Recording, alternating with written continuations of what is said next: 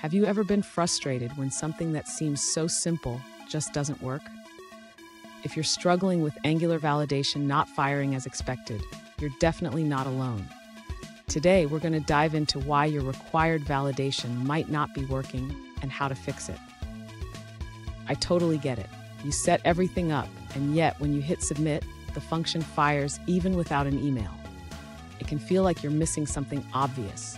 This is a common issue many developers face, especially when starting with Angular.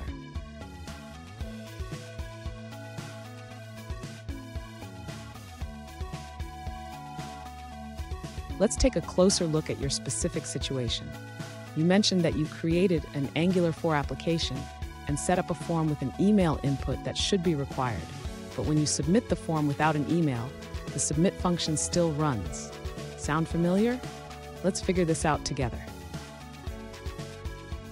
So, what could be going wrong here? In Angular, the required validation relies on the form control being properly set up and the form being in a valid state before the submit function is triggered. Let's break down the code to see where things might be slipping through the cracks. And stick around.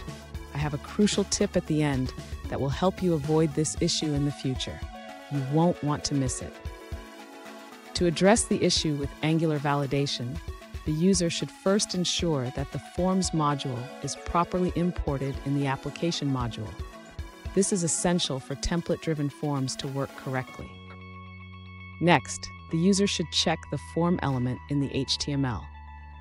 It's important to ensure that the input field has the correct attributes for validation to function properly.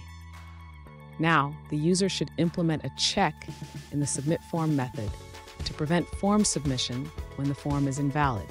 This can be done by checking the form's validity before proceeding. Finally, the user should test the application to ensure that the validation works as expected. They can do this by trying to submit the form without entering an email. Fun fact, did you know that Angular was developed by Google? It's a powerful framework that can sometimes feel like it has a mind of its own. But with a little patience, you can master it. Now let's look at the answers provided by other users. One user points out that you missed adding the ngModel attribute to your input element. By including square brackets or using the banana in a box syntax, your form validation will work as expected. You can choose between HTML5 validations or Angular validations. For HTML5, consider using ngNativeValidate. Alternatively, you can stick with Angular validations for a more integrated approach.